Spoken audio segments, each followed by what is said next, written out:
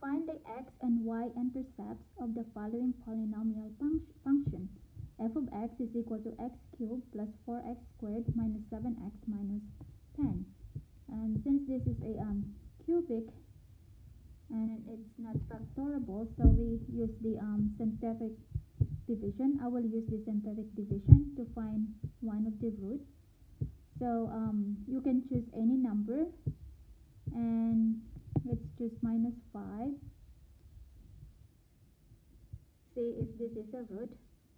So we write down the um, coefficients. 1 4 minus 7 minus 10 so we bring down the 1 1 times minus 5 is minus 5 4 minus 5 is a minus 1 minus 1 times minus 5 is a plus 5 minus 7 plus 5 is a minus 2.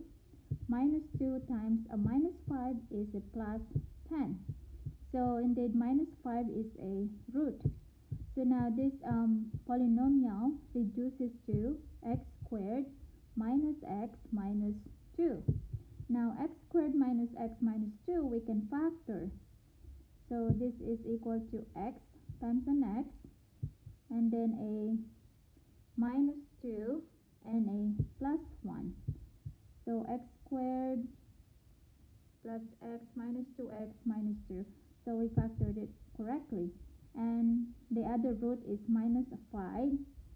So we have x plus 5. So these are the factors of this polynomial function. So the root's gonna be x minus 2 equals 0 or x is equal to 2.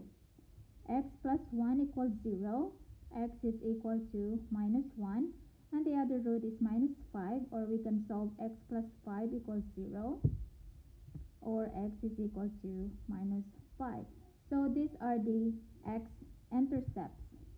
Now the y-intercepts, they also um, ask for y, is um, when x is equal to 0.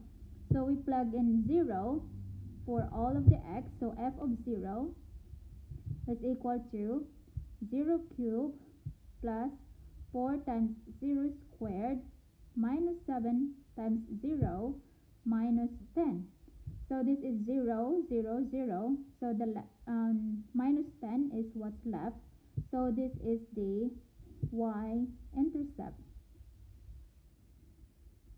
So these are the answers. Y-intercept is equal to minus 10 and the x-intercepts are 2, minus 1, and minus 5.